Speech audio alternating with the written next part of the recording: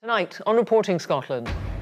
A man from Stirling sentenced to three months in a Dubai jail is free to return home after the case against him is dropped. Court is told a mother had no love in her eyes for the daughter she's said to have murdered. A recruitment drive to encourage thousands of people to take up a career in nursery education and childcare. How digital technology is replacing the clipboard hanging on the end of the hospital bed. It allows them to spend more time talking to you um, without having to race around filling in forms. Also in the programme. The Rangers manager Pedro Caixinha says his players are an embarrassment.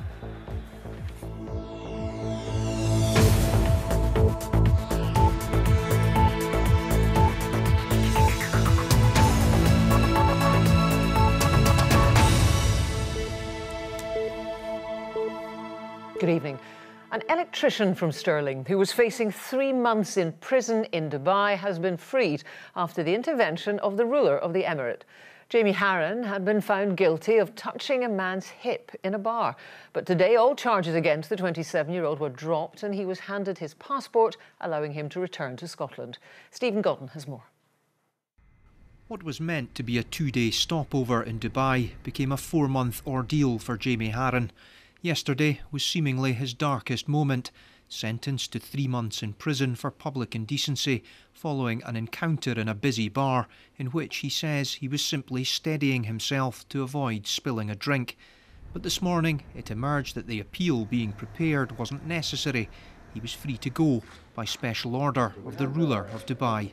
He's now since gone to the police station. He has retrieved his passport. He's been told by the Dubai police that all sentences, charges, fines against him have been set aside, have been removed by Sheikh Mohammed, who's the ruler of Dubai. Uh, he is free to leave Dubai at any time, and he is free to return should he so wish. The campaign group detained in Dubai say publicity was an important factor in Sheikh Mohammed's intervention. Billy Barclay agrees, another Scot with recent experience of being arrested, then pardoned in Dubai. Oh, it's horrendous oh, aye, you know, you're in a prison over there, and you, you, you just didn't see, you didn't see anything, you didn't see the end. And uh, even when you're released from prison, you're, you're fighting for your passport. You're, you're trying, you're, you're fighting pillar to post for your passport. You can't get your passport back, and you can't do anything to get it back. It's, it's their laws, it's their way. Throughout his ordeal, Jamie Harron's family felt unable to visit him, concerned that they themselves would fall foul of the Dubai authorities. This morning, after learning that he was free to leave the country and return to Scotland, his mum said that she was ecstatic. As well as his family in Stirling, Jamie shared his delight with Billy, a point of daily contact. I seen a Snapchat there film, you know, and he's he's laughing about having his passport and that, so he's obviously on cloud nine, which when I got my passport back was the biggest relief that I've ever had in my life, you know. You're in a country, you didn't know if you're ever getting back, that's the truth. You, you the law's in their hands. You, are theirs. That's it. Until you're back on British soil, you say you're you're you're not going to be happy. Detention, say his representatives, cost Jamie Harron more than thirty thousand pounds. They say he's considering suing his accusers, but the immediate focus is on getting home as quickly as possible. Stephen Godden, reporting Scotland. A court has heard that a mother had no love in her eyes for the daughter she's accused of murdering. The comment came from the sister in law of Sadia Ahmed. She's accused of killing her 14 month old daughter Inaya in Glasgow last year. Ms. Ahmed denies the charge. Andrew Black reports. Nadia Ahmed, the sister in law of the accused, was giving evidence for a second day at the High Court in Glasgow. She was asked if she had concerns about how Sadia Ahmed cared for her daughter Inaya. She replied, In Sadia's eyes, I never saw any love for Inaya. She did not look after her. Prosecutors say Inaya was assaulted by her mother at the family home in Drumchapel, Glasgow, in April last year. The trial previously heard the 14 month old died in hospital a few days later. Giving evidence, Nadia Ahmed was asked about a conversation she had with the accused a few days after Inaya's life support was switched off. She was asked by prosecutor Paul Kearney if the accused had talked about her intentions. Miss Ahmed responded, I asked her, Did you come downstairs with the intention of taking Inaya upstairs and killing her? And she said yes. Asked about the demeanour of the accused, the witness replied she was completely normal. It seems as if this was nothing to her. The court heard that Nadia Ahmed initially told police that Inaya choked on food. The witness was asked if she'd thought about going to the police after this conversation. She replied yes, many times, but she said that Sadia Ahmed's father had threatened her and others. The witness was asked, What did he say? She replied, He said, If our daughter is in prison, then wait and see what will happen to all of you. Miss Ahmed said she had initially lied to the police Defence QC Ian Duguid asked the witness if she was lying in court today. She replied no. Sadia Ahmed, who's 28, is accused of assaulting, force feeding, and murdering her daughter between February 2015 and April last year, as well as trying to cover up the crime. She denies all the charges against her, and the trial continues. Andrew Black, reporting Scotland at the High Court in Glasgow. The First Minister has described plans to almost double the amount of free childcare places in Scotland by 2020 as transformational. But to make that happen means getting more people to choose childcare as a career. Well, today a recruitment drive began to encourage 11,000 people into the profession. Lisa Summers reports. I'll hold it. There you go. What's next? There's plenty to be done at nursery school at this time of year. At the table with teacher Coral McAvenny, it's all about making Halloween magic wands. Phoebe, what's your magic wand going to do? It's going to make people small. It's going to make people small. Coral says it's a career with plenty of rewards. They look up to you. You're, you're a role model for them, so it's nice to get them so young when they're starting to learn things that we find so simple, like sharing and putting their jacket on, that's, that's a big deal for them. And, you know, it's nice to be part of helping them achieve goals that are lifelong. Towerview Nursery in Easterhouse is part of a pilot programme. It already offers 30 hours of free childcare places a week. That's double the current provision. By 2020, this should be the picture across Scotland. Here in Easterhouse, over 100 children and their families are now getting access to these additional free childcare hours. The nursery says it benefits the kids that come here, but it also allows flexibility for the parents retraining or going back into work. The First Minister came to see it in action, doing a spot of pumpkin decorating along the way. She acknowledged key to all of this is encouraging people to choose childcare as a career. It's one of the biggest policies, if not the biggest policies we'll pursue over the next few years. It is transformational. It will increase the early life chances of young people, make life easier for parents, but also give a new career uh, option for many young people leaving school. Ryan is at the local high school. A future working with young children is something he's considering. He already coaches football and wants to take it further. When I go to coaching, sometimes I can see the kids quite down, quite down, but when they come to football, they're up, they're excited, you know, they want to have fun. So I don't want to, I don't want to bore them. I want to get them in, having games, having fun time. When I see them leaving a smile face, that just that makes my day. 41% of the children who come here live in poverty. Easterhouse has high levels of deprivation. Research shows creating a positive experience in early years enhances opportunities later. That's why the staff want to get it right before school starts. Lisa Summers, reporting Scotland, Easterhouse. Plans to set a minimum price for alcohol in Wales has been unveiled, but will it encounter the same hurdles as minimum pricing in Scotland? Well, for the last nine years, the Scottish Government has been trying to bring in the measure, but it's faced opposition from a number of European countries and an ongoing court challenge from the whisky industry.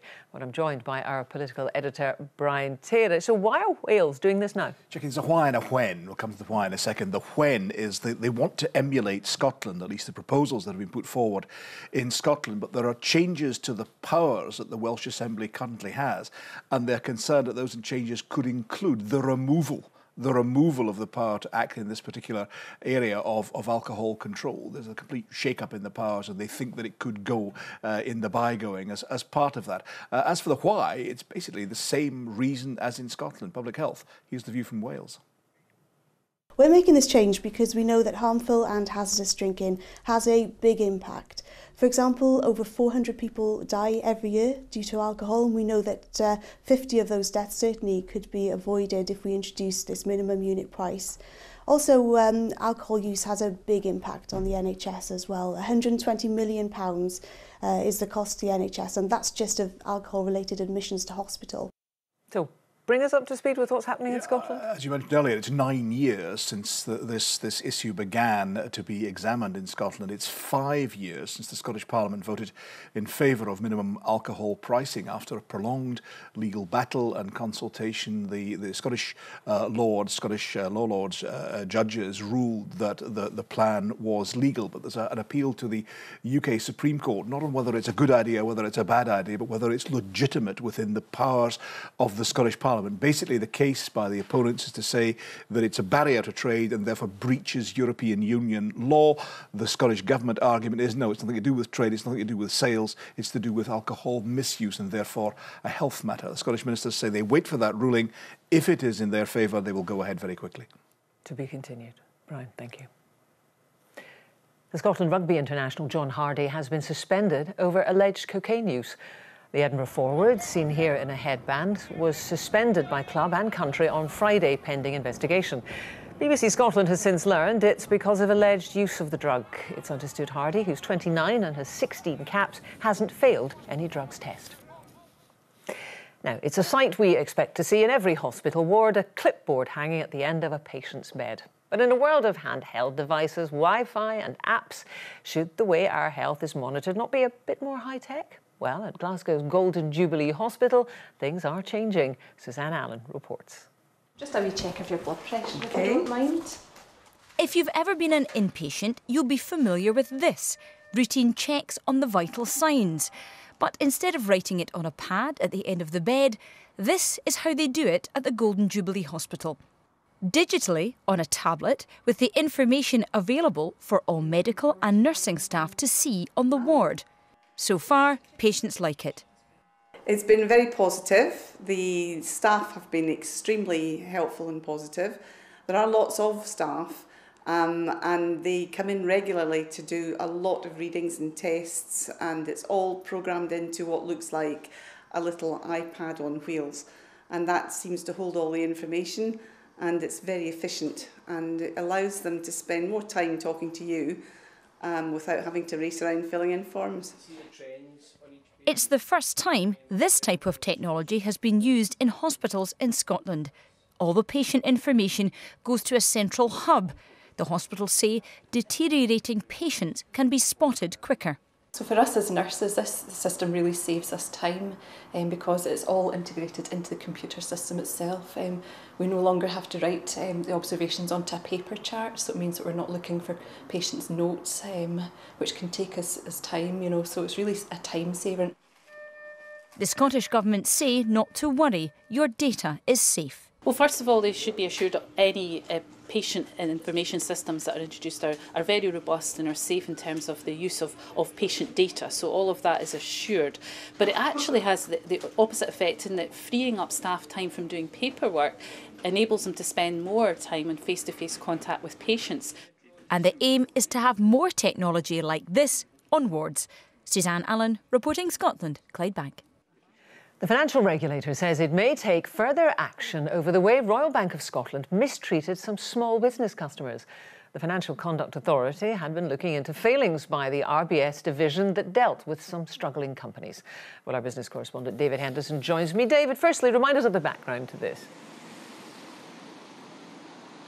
Well, Jackie, this inquiry focused on whether a unit within Royal Bank of Scotland went rogue. This was the Global Restructuring Group, part of the bank whose job it was to look after co companies that were struggling after the financial crisis. But the claim made by some customers was that instead of being helped, they were mistreated, and those companies were forced into bankruptcy so that the bank could pick up assets on the cheap. Well, today we've had an interim report from the financial regulator. It has identified failings at the bank, but crucially, when it comes to that central allegation, it has ruled that the bank did not engage in what it's called systematic inappropriate treatment of customers. So, in view of that, David, where does this leave those customers?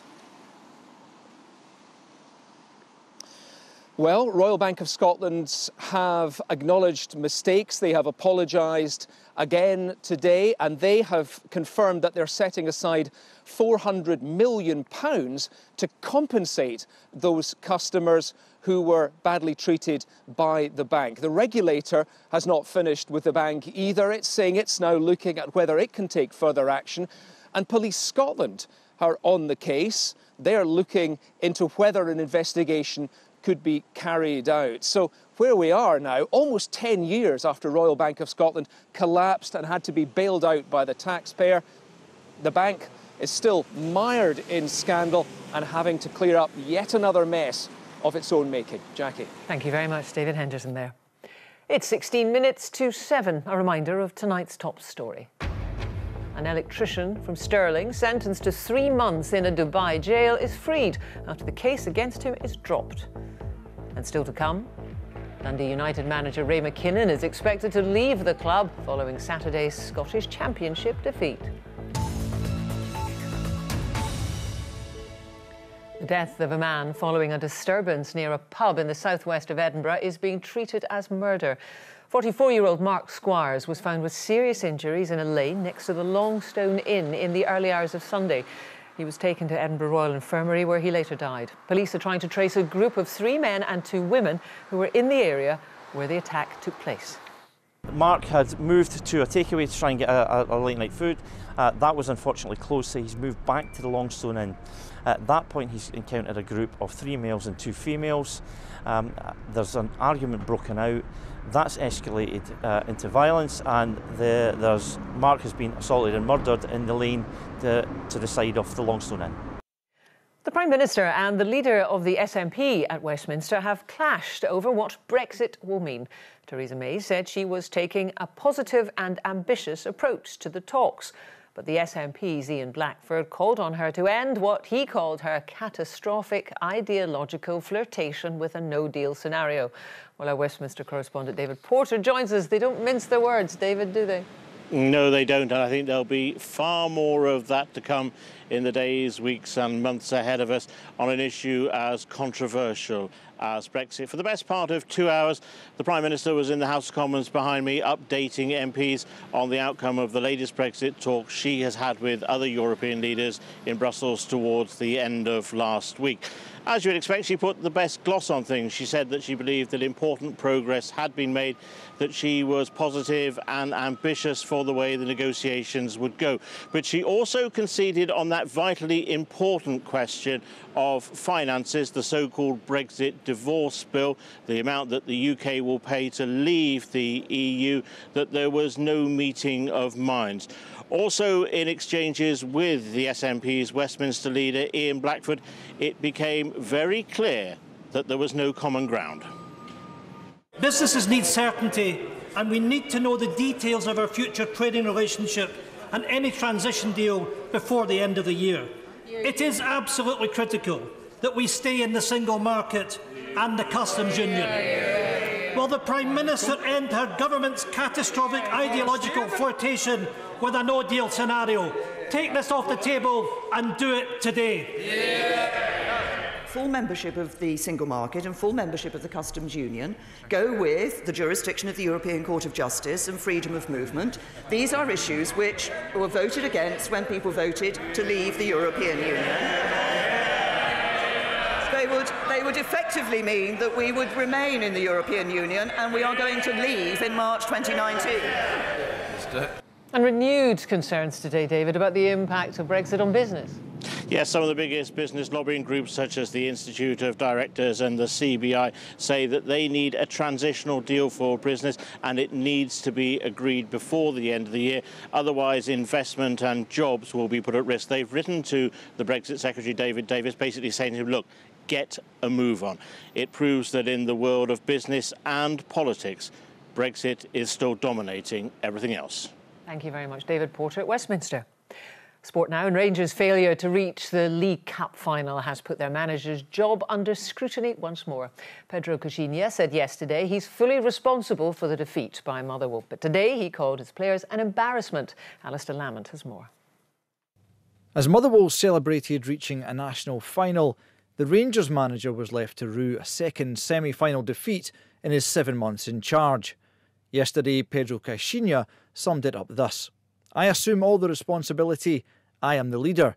I am the one that prepared them. By lunchtime today, that had changed to I've told the players, you are embarrassing me. You are embarrassing our club. You are embarrassing our fans. It doesn't augur well when the manager, you know, does a complete reversal in less than 24 hours. He was taking the blame. Now he's saying the players are embarrassing him, the club, and the fans. It's worth noting as well that eight of the players that started yesterday were players that have come in since he joined the club. So is he saying it's his players that are embarrassing the club or previous players? It's a confusing message, and I'm pretty sure the players will be equally confused as to what is the manager going on about. Managers will always tell you there is pressure to produce results, but certainly at a club the size of Rangers, an inability to win big matches like yesterday's semi final will ramp that pressure up. Nonetheless, Pedro Caixinha did take training uh, this morning. Now, that would suggest that a parting of the ways is not imminent. However, uh, the Rangers chairman Dave King is in the country, and clearly uh, discussions will be taking place as to progress being made or otherwise. Since Pedro Caixinha took over as manager in March, he's been in charge of 25 matches. Of those, Rangers have won 14. They've drawn four games and lost seven. How then do supporters view his future? I would think give him a little bit more chance, but uh, he's got to up his game. Rangers' way is just to keep the managers, and we're not the kind of club that just let managers go every time we're struggling. But uh, for the length of time he's been here and he's not managed three games in a row, I think it is time to question his ability. I think this is this will be a big call for him. If if things don't go well on Wednesday night, someone's going to have to change. I think. That game back here on Wednesday is against Kilmarnock, one you feel Pedro Caixinha simply has to win. Alistair Lamont reporting Scotland. Well, pressure then on Pedro Caixinha at Rangers and even more on Ray McKinnon at Dundee United following back-to-back defeats in the Championship. He's about to part company with the Tannadice club with an official announcement confirming his departure expected tomorrow. Kheredine Idessane reports. Troubled times once again at Dundee United. Their second season in Scotland's second tier isn't going to plan and manager Ray McKinnon is about to pay the price with his job. For a former advisor to the United chairman Stephen Thompson, the next appointment has to be the right one. It's absolutely crucial. It's perhaps the most important decision that Stephen Thompson will ever um, have to make. Uh, if the club doesn't get up this uh, this season, as I say, potentially it's it's financially almost calamitous um, for them. So he needs to absolutely get the right man, the man that can motivate that dressing room, lead that dressing room, and quickly make up the points deficit they're currently suffering from. United have only lost three league games so far this season, but back to back defeats in their last two matches seem to have moved the board to act. Currently fourth in the Championship, five points behind leader St Mirren, some fans are worried the club's being too hasty. He hasn't had a fair chance. I mean, they almost made it last season. Why not give me? They've lost two games on the trot. But any that can happen to any team, quite honestly. I sometimes worry about the way they get rid of people because it doesn't always change too good when the next person comes along. So I'm not sure it is the right thing. It doesn't seem long since United were in the top half of the Premier League and contesting the League Cup final. Jackie McNamara's reign lasted two and a half years. He was replaced by Mixu Paatelainen. And when he couldn't keep them up last year, Ray McKinnon was brought in to try to get United promoted. Faith in him is now run thin, and it's expected United will now turn to their fourth manager in as many years. McKinnon did lead Dundee United to last season's Premiership playoff, but that ended in defeat to Hamilton Accies. So who might they turn to next? I understand the man who led Inverness to the Scottish Cup, John Hughes, is amongst those being considered. And a former Dundee United striker, Jim McIntyre, who lost his job as Ross County manager recently, would, like Hughes, be available to start work immediately should the call come. It's expected McKinnon's departure will be announced tomorrow, once the lawyers have finalised his exit package. Kheredine Idessane, reporting Scotland. So, if the weather is relentlessly bad, what does that mean for weather presenters? We'll either be out of a job, Jackie, or busier than ever. Ah, That's what I think. Good evening to you all. Well, the day today has ended up feeling cloudy and quite damp for many too. We've had quite a messy weather story, a deep area of low pressure in the Atlantic, and around it, weather fronts approaching the British Isles, bringing with it cloud, rain, breezy conditions, and south easterly air and this west southwesterly air and this bringing in milder conditions so it has been mild today and it will be mild tomorrow too but there were some moments of brightness. This the scene sent in from one of our weather watchers in Dumfries and Galloway this afternoon with some brighter skies. And as we head into the evening and overnight, it will become dry for a time and there will be some clearer spells too. Here's the rain clearing the, towards the east and we're left with drier weather for a time for much of the country. Turning quite chilly across the north and northeast. Here, temperatures dipping to around five or six degrees for some sheltered glens.